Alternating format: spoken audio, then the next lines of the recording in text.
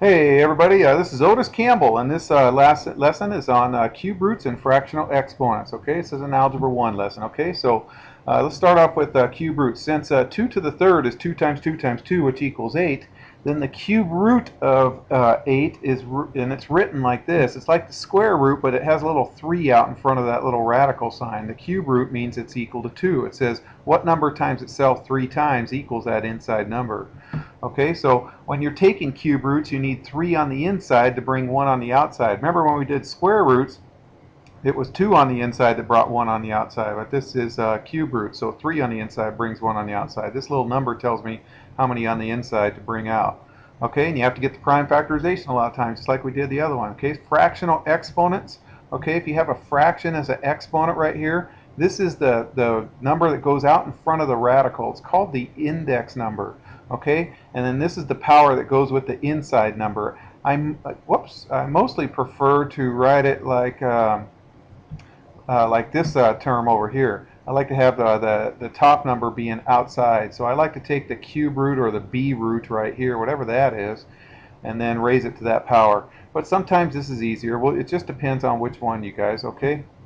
And so that, that number b is called the index number, and it tells you how many on the inside that brings uh, one of them on the outside. So for example, uh, oh wait, wait, one more. Okay, if there's a 2 on the outside, it's understood to be the same as just the plain old square root. Okay, so the square root of 9 is 3 because that's equal to 3 times 3 and you need two 3's on the inside that brings one on the outside.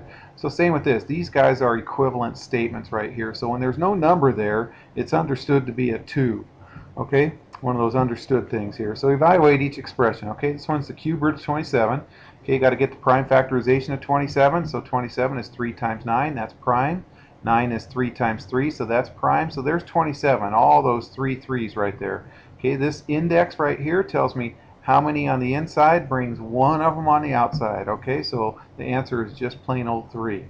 Okay, what about the square root of 27? Okay, remember if there's no number there, it's understood to be 2. So you do the same thing. You get the prime factorization, which is still 3 times 3 times 3. I did that over here. But this, since there's no number there, it's understood to be a 2. So I need 2 on the inside that brings one of them on the outside, and there would still be 1 left. So it would be 3 times the square root of 3. Okay, whereas over here, the cube root of this is just plain old 3. All right, what if I said the fourth root? The fourth root of 27. Okay, well, we know 27 is 3 times 3 times 3. I need 4 on the inside that brings one of them on the outside. So nothing comes out, so it's just the fourth root of 27. You can't do anything with that. Okay, perfect cubes, you guys. Perfect cubes are are these numbers. I know it's a lot for a second, but look, this, these numbers on the left right here, these these black numbers are my perfect cubes because they're 1 cubed, 2 cubed, 3 cubed, 4 cubed, all the way up to 10 cubed right here. All right, so if I see the cube root of any of these numbers, say I said the cube root of 729, it equals 9. Okay, the cube root of 216 equals 6. All right, and then these ones, these are also cube roots, you guys, because when I cube 1, negative 1 cubed, or negative 2 cubed, negative 3 cubed, you know, all the way down to, here, negative 10 times negative 10 is 100, but times negative 10 again is negative 1,000. Okay, so these are perfect cubes also, these black numbers here. So the cube root of negative 343 would be negative 7. All right, so those are all perfect cubes, you guys. All right, so evaluate each. Uh, so the cube root of negative 216, well, I kind of gave you that one just right before that. That should equal negative 6, because negative 6 cubed equals that inside number, negative 216, so the answer is negative 6. Okay, how about the cube root of 729? What number cubed is 729? It was 9.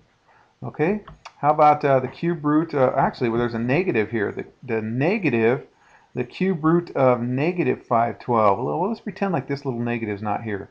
The cube root of negative 512, okay, if you did, I know what it is, you guys. It's just you guys probably forgot. There it is right, whoops, one more. Uh, there it is right there. So the cube root of negative 512 is negative 8. All right, let's go back to that. Where am I? Right there. So this is going to be negative negative 8 right there, which is going to end up coming to be positive 8 okay because this negative right here is going to make this negative 8 a positive 8 right there.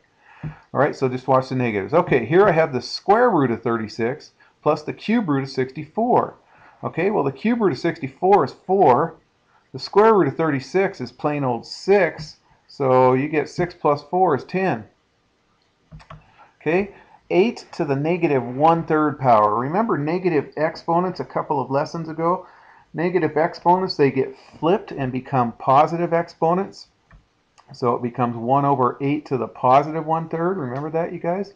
All right, and then so that becomes 1 over, uh, remember the fractional exponents right here. This 3 is this uh, b right here. So this is this 3 is going to be the cube root of of 8, 8 to the first. So I'll write that right there. There's the cube root of 8 to the first. There's my 1 third power right there.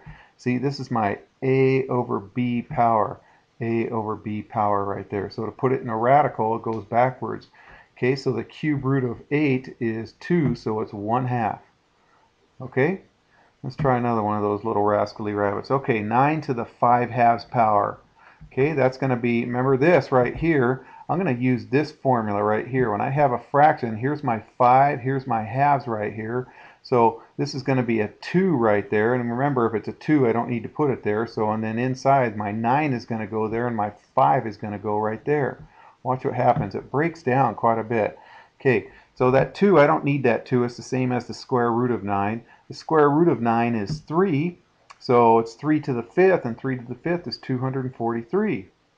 Okay? All right, let's do that with this one here. Okay, a negative exponent, it goes in the denominator and becomes a positive exponent. And I'm going to write this just like this. Okay, this 3 is my, my index number outside the radical. This is outside the parentheses. This 2 is going to be this little dude right here. Okay, so there it is right there. So it's 1 over the cube root of 125 squared. There's my 2 thirds power. The cube root of 125 is 5. So it's 1 over 5 squared. 5 squared is 25, so it's 1 25th. Okay, practice these ones, you guys. They get a little tricky if you don't practice them, so go ahead and practice them, please.